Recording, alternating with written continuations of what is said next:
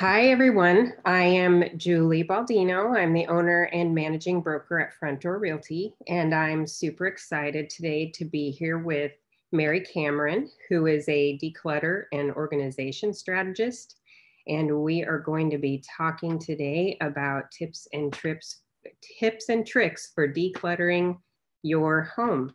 So thank you, Mary, for being with us. I really appreciate it. Oh, thank you so much for inviting me in. Yeah, you bet. So, can you tell us a little bit about yourself, your business, and why you are passionate about decluttering and keeping people organized? Sure. Um, I think that I'm so passionate about it because my life was a mess. Um, I was completely a hot mess. I was in pharmaceutical sales, traveling all over the US and being very successful in that part of my life. But my home life, as far as coming home to messes and cleaning when your husband or kids are there really kind of was weighing on me. So I kind of took some strategies that were working in my professional life and moved them into my personal life. And the whole purpose of it is just so that I have more time. So I get to do what I want to do in my life, whether that's, you know, hanging out with my kids or watching Netflix on my own. I just like things in their place so I don't have to clean. That's the whole strategy behind it. I like that. I like that. I also feel like you aren't fully enjoying your home unless it's clean and clutter free and you're surrounded by things that you love. So, and I'm a big proponent of feng shui.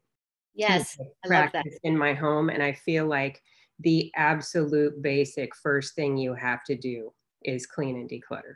Absolutely. Absolutely. And I, I think that in the times that we're living in right now, it's the one place that you can have 100% control over is what's inside of your home. And there's nothing better to me especially now is walking in taking that deep breath decomposing and being like you know what? I might have to pick up but it's only going to take me you know under 15 minutes to do that. And i think our home should be a sanctuary especially right now because we're um, I don't know where everyone else is watching from, but I live in Maine and we're not on a strict quarantine. But when you go out, our world definitely looks a, a lot different. So um, I think it's just so important to just have that nice, calm space to come home to. I agree. And I think that other people can feel it too when they walk in.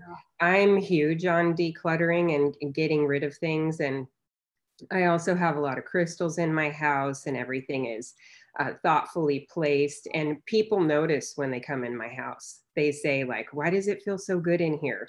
And it feels good because the space is open and clear of any debris and with the exception of my dogs that throwing their toys all over the floor it's pretty clean so. Yes yes. And there's something when you mentioned feng shui there's um there's such a flow to that. And yeah um, you really can feel an energy of a home, whether it's cluttered or clear or halfway in between.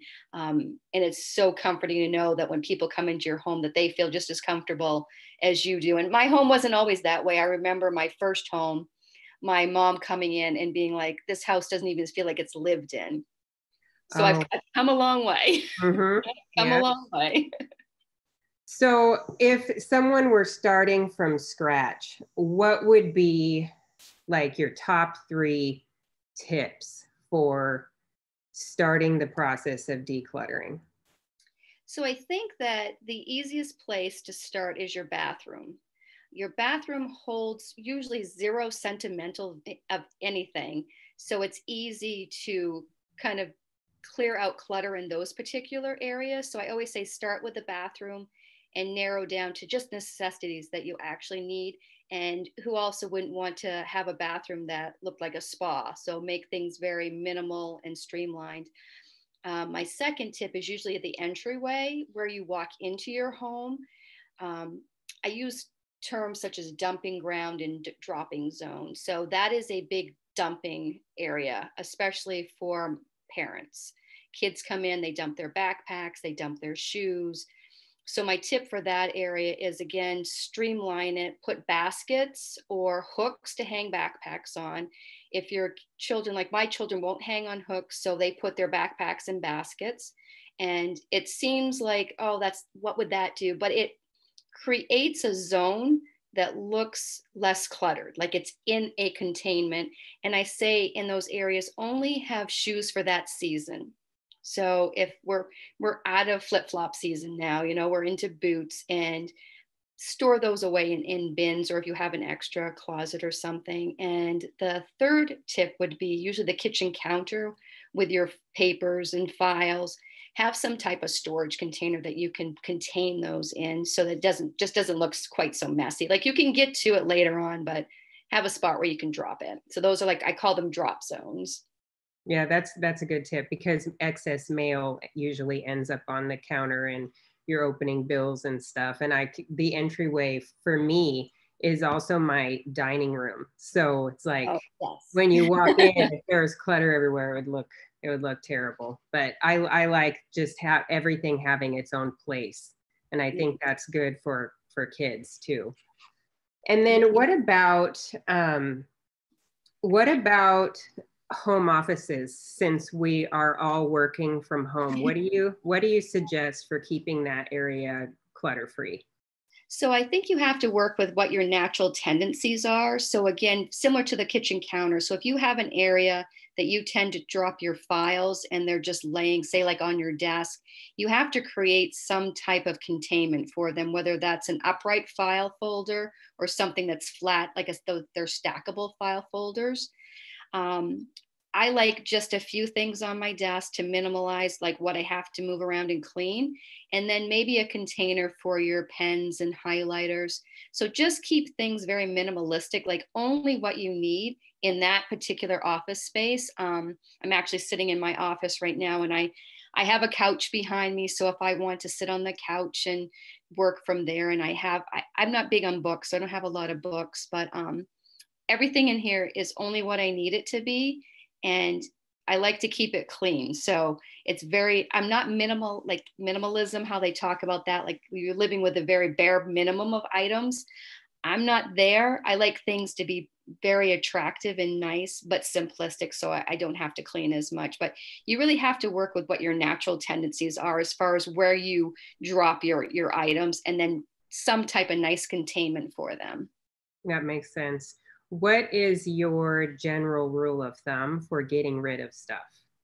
Because that I think is something we all struggle with is getting rid of things. And it's interesting. I ever since a child, I don't really have a sentimental attachment to a lot of things. So for me, it's very easy. And I always use my husband as an example that um, he is a borderline hoarder. Like he keeps things from way way back he has a hard time so those are like people are sentimental about things um, births weddings holidays things like that. Um, they really have to you have to look at it is do i use it? Do i absolutely positively like love it beyond measure um, in order for me to like let him sort of keep things? But we've been together 15 years and this year he just let me tackle his closet so it is a very, you know, it's hard. Um, my side of the closet looked awesome. His side, not so much. Um, and that's one thing I think you just have to decide for yourself can I let go of it? And it's okay if you can't, just know that it may not look how you want it to look. But for people who have a hard time getting rid of things, I would say rotate your seasonal items out so that your closet is more streamlined. So, like right now, I'm getting rid of all my fall items. I'm unpackaging all of my winter clothing, um, and vice versa throughout the year. I think that those are really easy tips if you can't get rid of things. Um, but think they'll go. They're going to go to a good home. You know, they they can go someplace nice, and if it's you know sometimes there are things you have to throw out and i know that that's hard for people so if they can't maybe just take it out of the space to minimize the space that you're actually working with. But it's hard. It, that's probably the closet is probably the hardest place for people because it is because I think we we hold on to like clothing that we maybe used to wear, hoping that we'll wear it again. yes.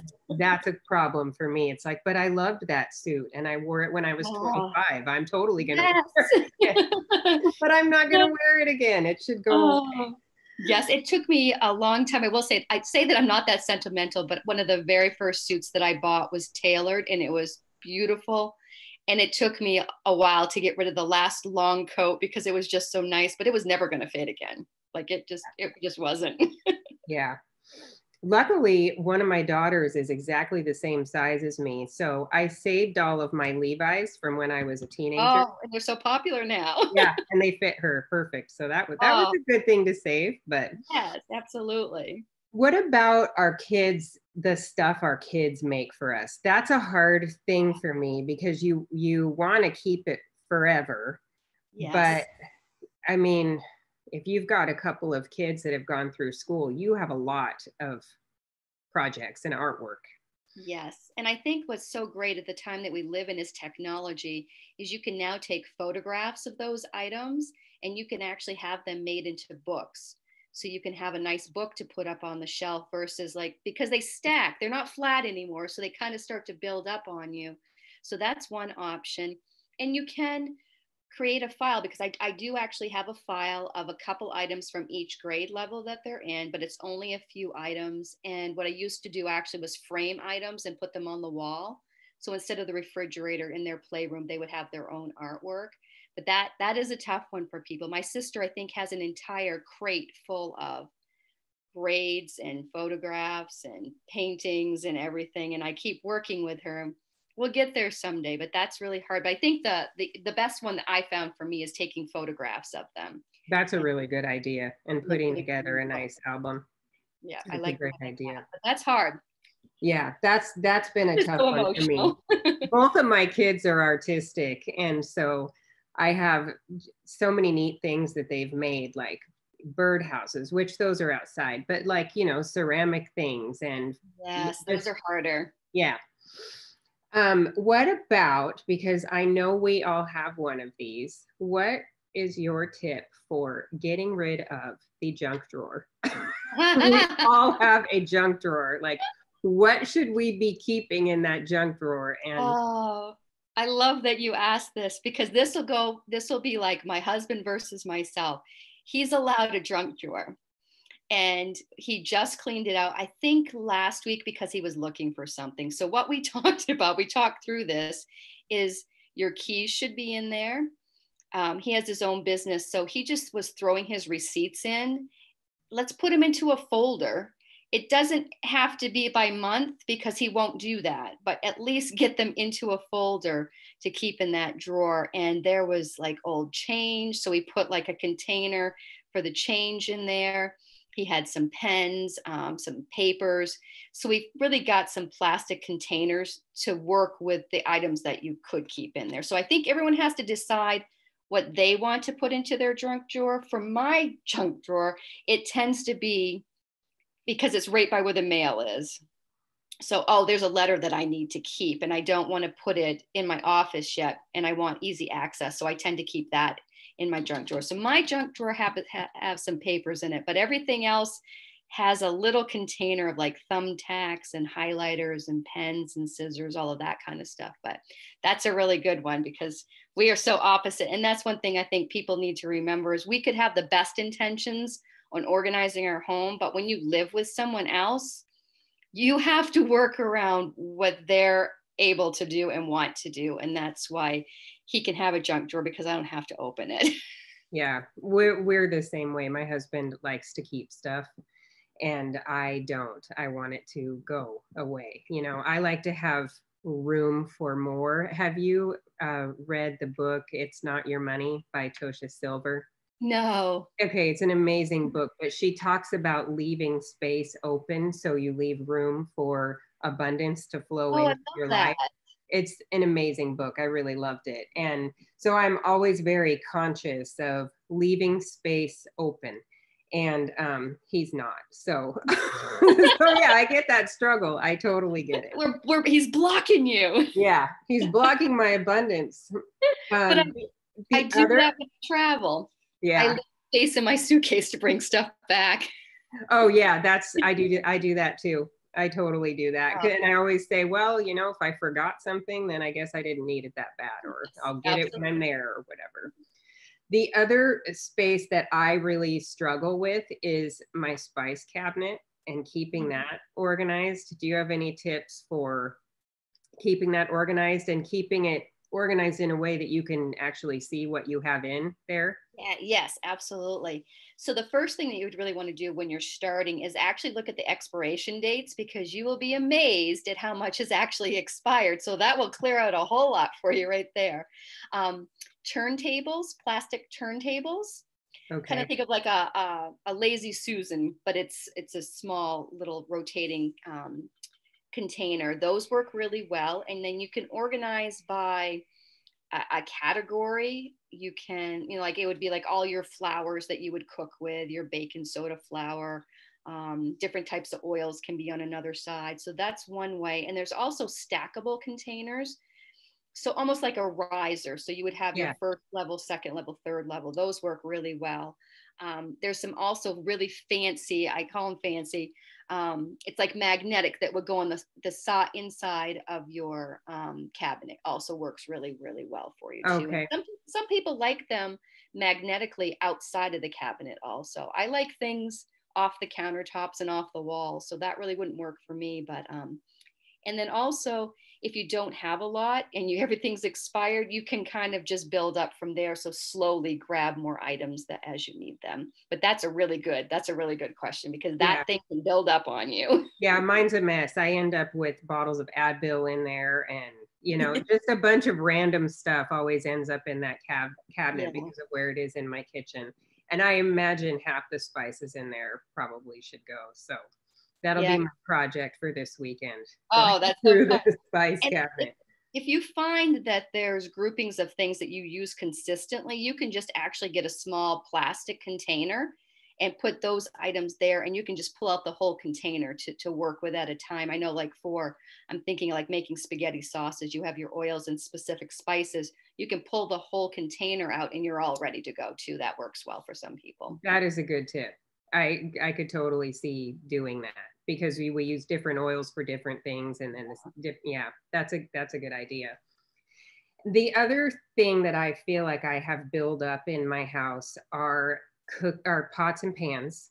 Mm, yes. and vases like oh vases yes. Yeah i think i have a whole entire cupboard full of vases. I should probably just donate those but with the pots and pans i feel like I need, you know, one of every size, but then I find I don't use all of them we just discussed this this was like in my have a facebook group and this was our discussion topic was like um, tupperware and plasticware and pots and pans. They're so insanely frustrating because the, the covers never match.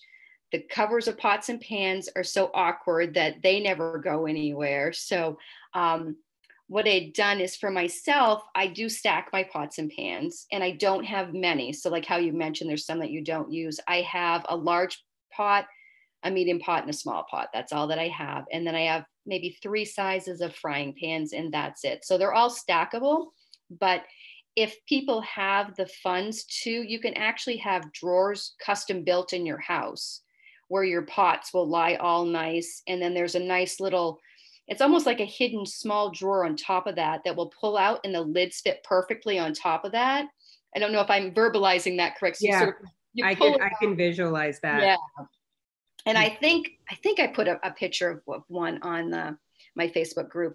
Um, and then another idea for the the pots and pans covers is to find some type of container that you can put them up either horizontally or vertically, whatever you like, and they're contained in one spot so that you don't have to be like, I just picture like things used to be like you're you're throwing the pots out and you can't find the container, you know, to put on top of them and everything. And um, so those are my two tips for, for that. And flatware, um, sorry, the plasticware is again finding containers to put them in and the vertical um, file folds that stand this direction, they can fit those covers in perfectly.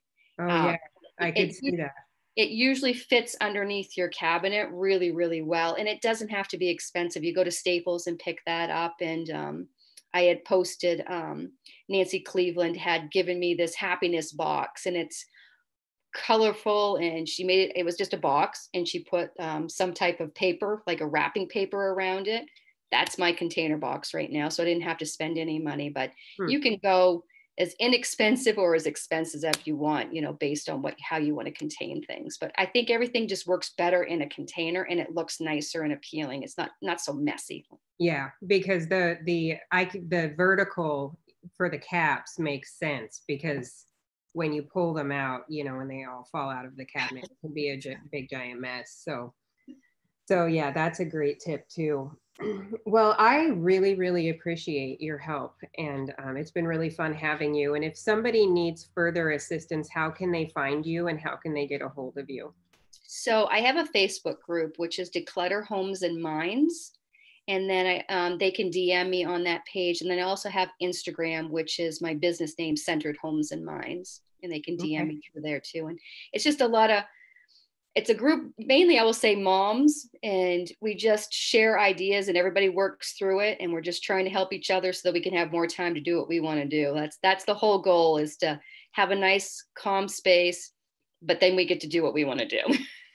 Yeah very cool. I know eh, moms need that help because it is hard to keep the kids you know on track and organized and that's our that's our sacred space you know when we're done parenting for the evening. So it's yes. nice to have it all um, organized and clean and pretty. So thank you so much. This has been really helpful. Um, thank you everybody who watched. And mary i will post a link to your group in the comments section and leave this replay up so people can get in touch with you. Perfect. Well thank you so much. It's been fun. It has been fun. Have a great holiday weekend. Thank you. You too. Bye-bye